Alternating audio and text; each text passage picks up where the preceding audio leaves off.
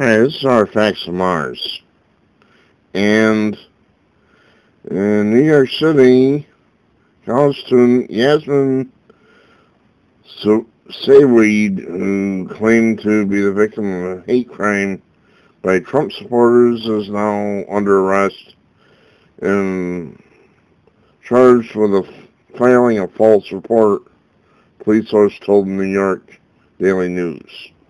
18-year-old Seaweed caused quite a media stir with a sensationalized account of Trump supporters attacking her on the subway.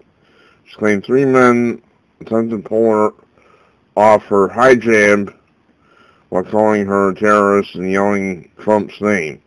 All this happened, she said, while New York's New Yorkers sat idly by and watched her get assaulted. Police source told news that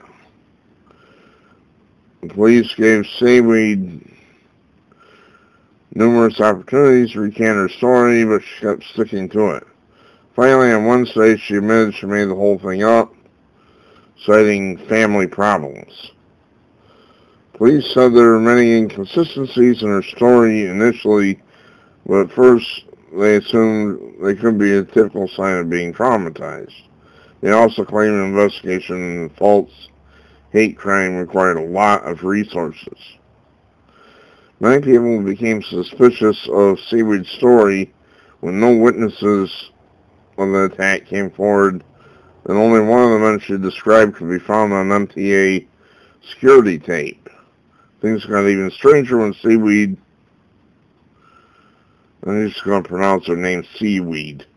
Seaweed disappeared last weekend only to return two days later saying she was at a relative's house. Many media outlets reported the fake hate crime did not include qualifiers like alleged and claimed.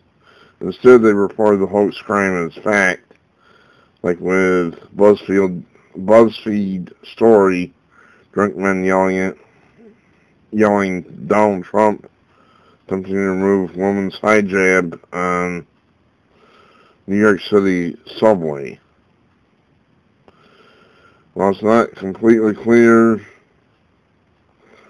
why Seaweed invented this story, it's clear that folks will harm the credibility of actual victims of hate crimes and assaults. Well, no fooling.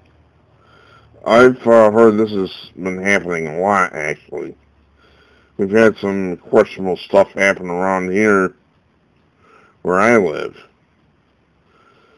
So, uh, Reed's going to do a little time in jail, I guess.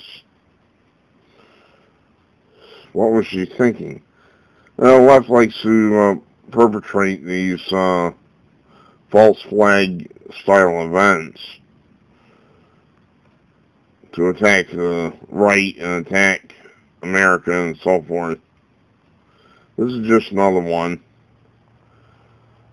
I guess it goes double for, well not so much double, I, I guess it's just for these so-called minorities, uh, uh, these things keep getting perpetrated. It's hoaxes. We have one around here. We had a couple down at SUNY Geneseo, for instance. Somebody sprayed KKK and swastika, and the media went ballistic. It was probably a Trump hater who did this. Anyway, that's our Islam in the West update. Thanks for watching.